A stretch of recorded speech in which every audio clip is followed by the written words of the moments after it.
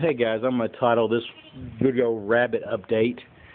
Um, and the answer to that is they're coming in the spring. Um, I am getting rabbits again, and I am missing them a lot. Um, I really am. Uh, at the time, I was ready to get a change because I just done it so solid, but I am starting to miss them.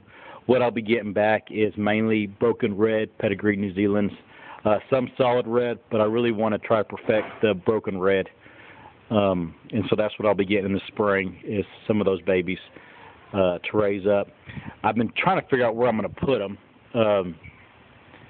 because um, you need to be able to raise them summer and winter, which means you need an air conditioned barn. Um, but that just gets expensive, and it's not. You know, it becomes a is it worth it or not?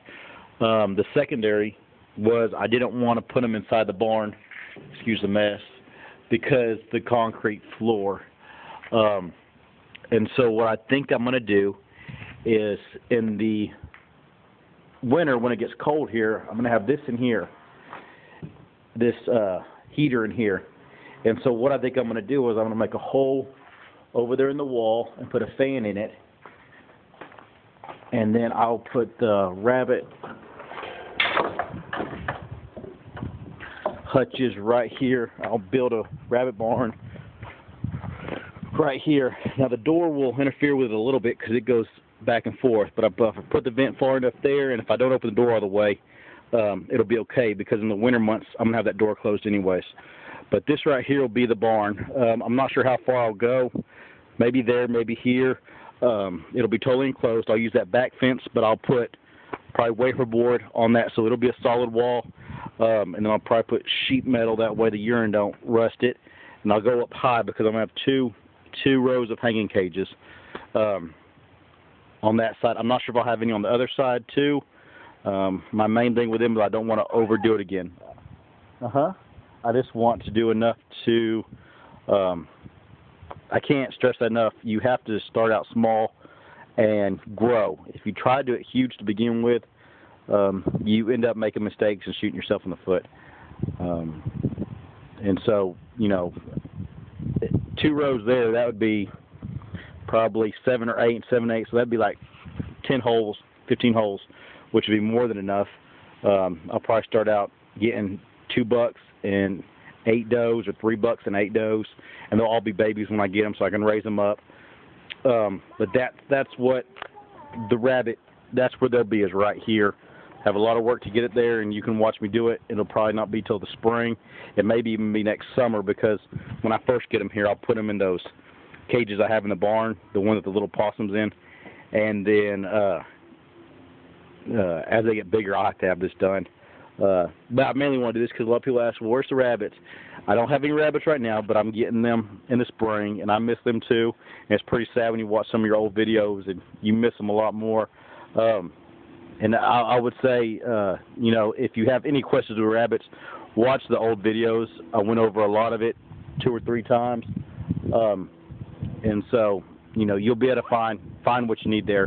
If not, there's a bunch of other great rabbit videos on the YouTube that can help you out too.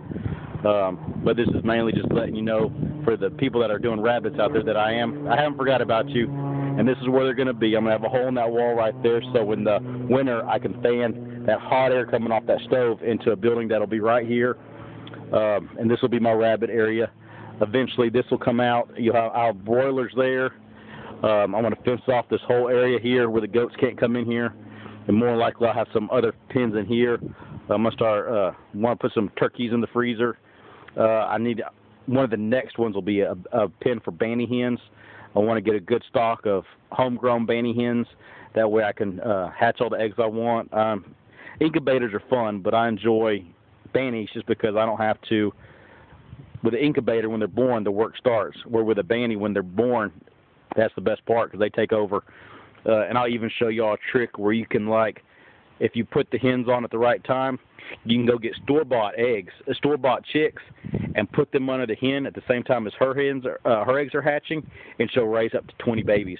Uh, some of them being store-bought. Uh, she doesn't know the difference, and so, but that's future.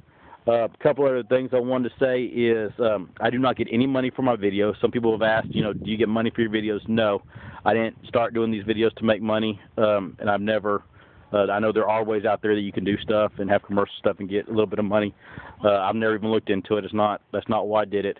Uh, another question I get a lot is, what does JRS Kick One mean?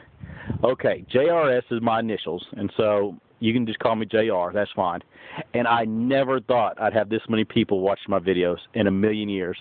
Uh, in 09, I watched Kanan Raw's videos and Houndsman, and I just wanted to do it too. Um, and so when I picked that name, that was uh, I put JRS and some other stuff in. I think I put JRS Prepper, JRS.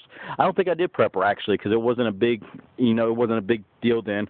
And I'm kind of glad I didn't because I I am a prepper, but I want to be more whole group um, than just the prepper community. But um, I put in a bunch of names and I couldn't get any, and so it just gave me five that I could choose from, um, just random. And so I picked JRS Kick One, strictly on. Hey, that would be easy to remember. and so if you've always wondered what was he doing or what was he on when he picked his name, I really wasn't thinking future tense. I was just uh I was, I was at work, a matter of fact, uh, and I was trying to set up one. I'm not good at setting up stuff on the computer, so I was trying to set up one, and so I just picked one that they gave me. Um, is how that started, uh, and so that that's that. Um, you know, there's no there's no back a back play to it. That that's how simple it was. Um, I thank y'all, everybody that has subscribed, and if you'd like to subscribe, that'd be awesome. That has uh, stuck with me through this transition, trying to figure all this out. Um, I did lose some goats recently. I lost two sisters. Um, the vet thinks it was to worms. I took one of them in. Um, they got sick on a Friday, and they were down one day without eating, and the second day they got real weak, and I lost glass that next morning, and I took the sister, number 70, to the vet uh, that day, and he said uh, he thought it was worms, so I warmed them, and she didn't make it anyways. Uh, she died the next morning. We put her in the barn and tried, but it just didn't work out. And that kind of goes back to um, shooting yourself in the foot. I shouldn't have gotten these girls. It was a great deal, but I should have learned with these uh, and waited till I had some babies under my belt and raised them. Um, and you just have to research Boer goats a lot. I am amazed at how bad they are about uh, worms and stuff like that. It's it's kind of I don't know if I'll get any more pures. I'll probably mix them with like if I'm saying it right or Spanish because I mean the wormer I'm happy to give them. You have to give it once a month. And so, I mean, they're, the babies, even if they're meat babies, are going to have this wormer in their system. I don't know how that works. Um, but I'm just gonna. I'm not sure if I'm gonna get any more. I'm gonna keep these, and hopefully they'll do good. But example of me doing it, I shouldn't have gotten these girls to begin with. I should have waited a year and went slow and worked on my uh, my mixed does that are more hardy. And then as I learned about them, then went out and purchased some higher grade does. Um, but you live and you learn, and that's what I'm trying trying to teach or trying to tell you is you know don't don't jump off a cliff and do a whole bunch. Start out small, um, and then go from there. All these girls are doing good. Uh, just being lazy in the sun. Rocky sleeping. Rocky, Rocky. he was sleeping hard now. I'm telling you, he's gotten bigger.